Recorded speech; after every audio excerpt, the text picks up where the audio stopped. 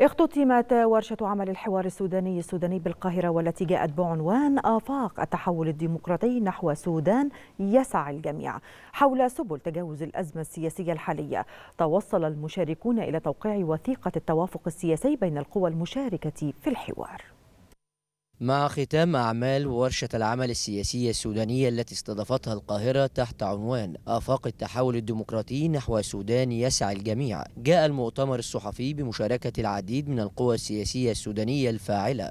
الورشة ناقصت كثير من القضايا القضية الدستورية كقضية محورية القضية بتاعت المهام الفترة الانتقالية القضايا بتاعت هياكل الحكم الفترة الانتقالية القضية بتاعت الشباب والمرأة وإسهاماتهم في مجالات الثورة المتجددة وكذلك قضايا النازحين واللاجئين وكل القوى الموجودة. حوار فعال وطلع بمخرجات ممتازة. أولا أن اعتمد الوثيقة الدستورية ل 2009 اعتمد الحوار المتصل دون إقصاء أحد في السودان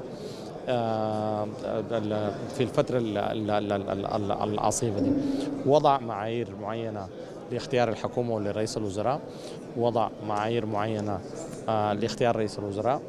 والمجلس والمجالس التشريعية. ورشة العمل تعقد وسط تطلعات لأن تمثل منبرا سودانيا وطنيا خالصا لمناقشة قضايا تحتاج إلى حلول فاعلة وذات تأثير في المشهد السياسي السوداني. كانت مناقشات سودانية سودانية حرة. تناقشنا حول مستقبل المرحلة الانتقالية وكذلك ما بعد المرحلة الانتقالية. النقاشات كانت نقاشات حرة وشفافة ومباشرة وصريحة. لا أسميها نتائج وربما هي خارطة الطريق. آه للفترة الانتقالية آه وتمهيدا إلى الانتخابات التي حتأتي بعد الفترة الانتقالية.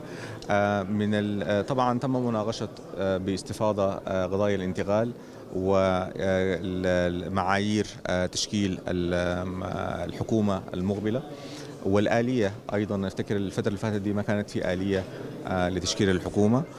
والآن نحن توافقنا على أنه حيكون في مجلس أو هيئة تتكون من 100 فرد هي التي سوف تقوم بهذا الدور. وفي أجواء من التوافق الوطني السوداني السوداني وقعت القوى المشاركة في الورشة على وثيقة التوافق السياسي بهدف تحقيق طموحات جماهير الشعب السوداني. رامي محمد التلفزيون المصري.